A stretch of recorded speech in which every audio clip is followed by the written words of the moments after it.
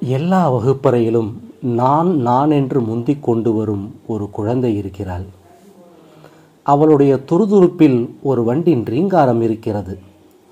கேட்டதை விட கூடுதலாக ஒரு சாட்பீஸ் எடுத்து வருகிறாள். வகுப்பறைக்குள் ஆசிரியர் நுழையும் போது வருகை பதிவேட்டை தவறாமல் ஒப்படைக்கிறாள். வேறு வேளையில் இருக்கும் ஆசிரியரிடம் இது உங்க பீரியட் என்று நினைவூட்டுகிறாள். ஆசிரியரின் பீரோவில் எந்த பொருள் எங்கிருக்கும் என்பது அவளுக்கு அத்துப்படி. தேர்வு கால அட்டவணையை மற்றவர்கள் அழிக்காமல் பார்த்து கொள்கிறாள். ஆசிரியருக்கு சாதகமாகவும் சக மாணவர்களுக்கு பாதகமில்லாமலும் நடக்கும் அவள் மீது எந்த புகாரும் இல்லை. ஒரு நாள் கூட அவள் ஒற்றை ஜடையுடன் வந்ததில்லை. அவள் வராத நாட்களில் கரும்பலகையை யார் துடைப்பது என்ற கேள்வி எழுகிறது.